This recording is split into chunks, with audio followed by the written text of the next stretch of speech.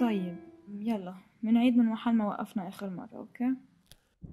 أصعب شيء لما تفكر حالك إنك إنسان متروك مهمش.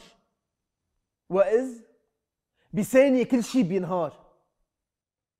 حتى بيتك يلي حطيت فيه أحلامك وذكرياتك وطموحاتك راح تكسر وتبخر.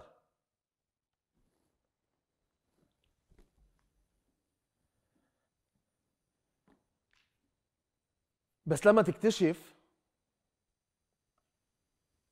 إنه الناس حواليك عم بيعيشوا معك أوجاعك بتهون. فجأة بتحلى الحياة وبتصير الناس واقفة حد بعضها وبصير في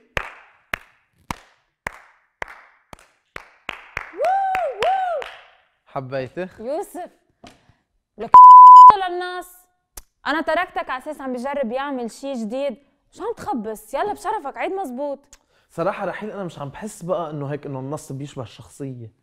مع أساس بدك توصل صوتك للناس وتخبرهم عن حياتك. شو صار هلأ؟ إنه إيه هيدا الشيء ما تغير.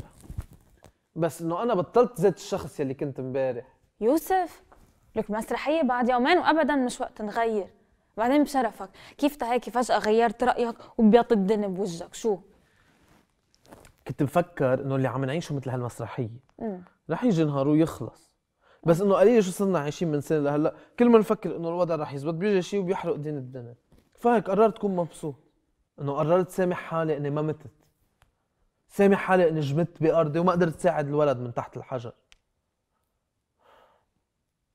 حتى إني قررت إني أغفر لهم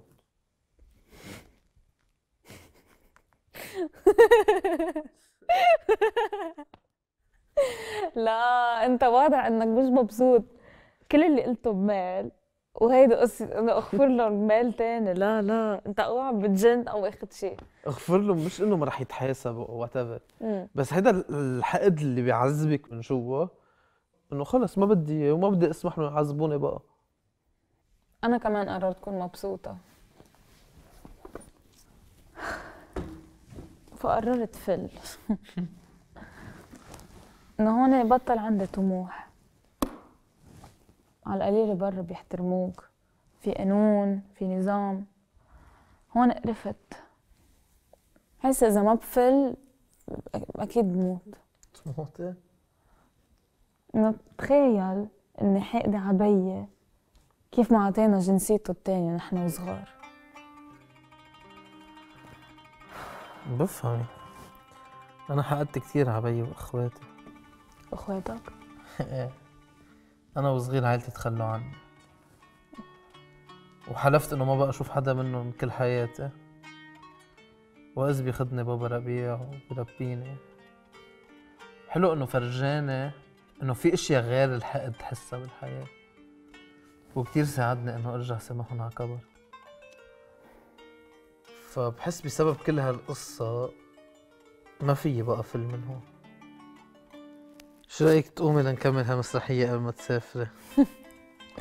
إيه بس ولا شيء من اللي قلت لي اياه غير لي رايي أوكي إيه بس ما قلت شيء كان هدفه يغير لك رأيك يلا منعيد بنعيد من الأول أي نص بنعمل؟